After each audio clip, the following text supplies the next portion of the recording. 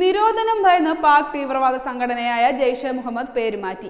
പാകിസ്ഥാനിലെ ജിഹാദ് പരിശീലനത്തിനെതിരെ അന്താരാഷ്ട്ര സമ്മർദ്ദവും നിരീക്ഷണവും ശക്തമായതിനെ തുടർന്നാണ് പേരുമാറ്റമെന്നാണ് റിപ്പോർട്ടുകൾ. മജ്ലിസ് ഫുറുസ ഇ ഷുഹുദ ജമ്മു വ കശ്മീർ എന്നാണ് ജെയ്ഷെ മുഹമ്മദിന്റെ പുതിയ നാമം. രഹസ്യാന്വേഷണ ഏജൻസിയാണ് ഈ പേരുമാറ്റം കണ്ടുപിടിച്ചത്. പാകിസ്ഥാനിലെ ജിഹാദ് പരിശീലനത്തിനെതിരെ അന്താരാഷ്ട്ര സമ്മർദ്ദവും നിരീക്ഷണവും ശക്തമായ സാഹചര്യത്തിലാണ് സംഘടനയുടെ ഈ പേരുമാറ്റം.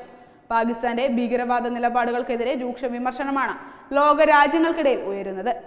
ജെയ്ഷെ മുഹമ്മദ് തലവൻ മസൂദ് അസറിനെ ആഗോള ഭീകരനായി പ്രഖ്യാപിക്കണമെന്നാവശ്യപ്പെട്ട് ഇന്ത്യയ്ക്ക് പുറമെ ഫ്രാൻസ് റഷ്യ തുടങ്ങിയ ലോകരാജ്യങ്ങൾ രംഗത്ത് വന്നിരുന്നു.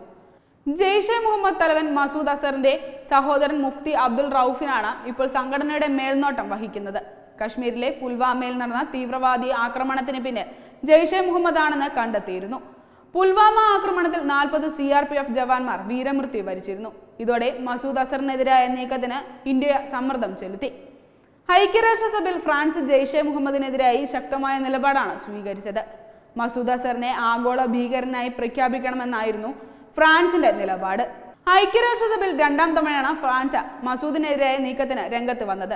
കഴിഞ്ഞ ദിവസം ഹ്യൂസ്റ്റണിൽ അമേരിക്കൻ പ്രസിഡന്റ് ഡൊണാൾഡ് ട്രംപിന്റെ സാന്നിധ്യത്തിൽ ജമ്മു കാശ്മീർ പരാമർശിച്ച് മോദി പാകിസ്ഥാൻ നടത്തുന്ന ഭീകര പ്രവർത്തനങ്ങൾക്കെതിരെ രംഗത്ത് വന്നിരുന്നു. വേൾഡ് ട്രേഡ് സെന്റർ ആക്രമണം ഓർമ്മിപ്പിച്ച ഇമ്രാൻഖാന്റെ നീക്കം വിശ്വസിക്കരുതെന്ന മുന്നറിയിപ്പ് മോദി അമേരിക്കയ്ക്ക് നൽകി. ഇതിന് പിന്നാലെ ഇന്ത്യയ്ക്കും അമേരിക്കയ്ക്കും അതിർത്തി സംരക്ഷിക്കാനുള്ള ബാധ്യതയുണ്ടെന്ന് ട്രംപും വേദിയിൽ വ്യക്തമാക്കി. ഒരേ വേദിയിൽ പാകിസ്ഥാനെതിരെ ഇന്ത്യയും അമേരിക്കയും സ്വീകരിച്ച നിലപാട് ഏറെ പ്രധാനമാണ്.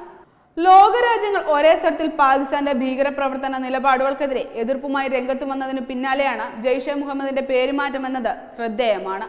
വെബ് ഡെസ്ക് പത്തുമൈ ന്യൂസ്.